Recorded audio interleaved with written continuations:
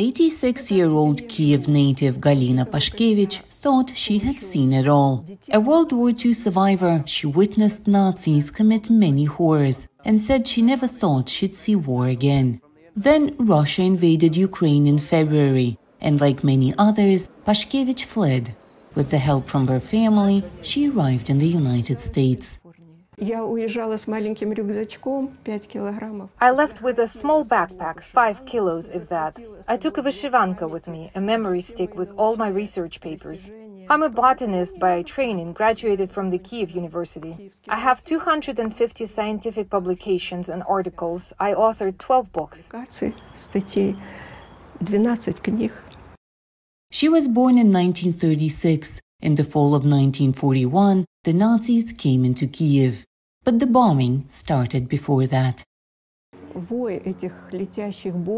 I remember the whining of flying bombs, the high pitched sound of diving planes. It was very scary.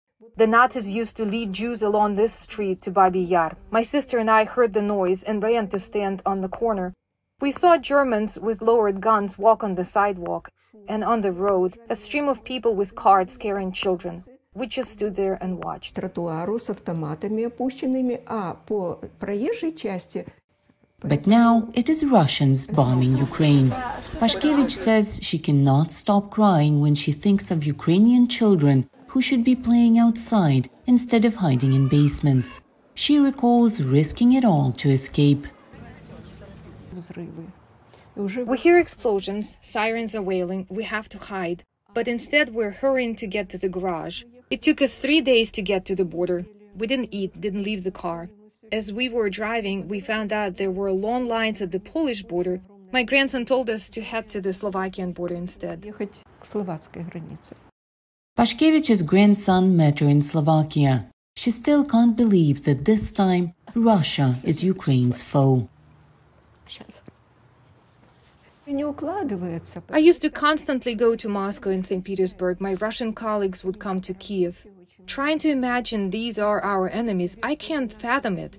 But when you see what they do, what they have done to our cities and villages, Irpin, Bucha. Pashkevich says she believes that Ukrainians have united against a common enemy, a unity she thought was hard to achieve during peaceful times.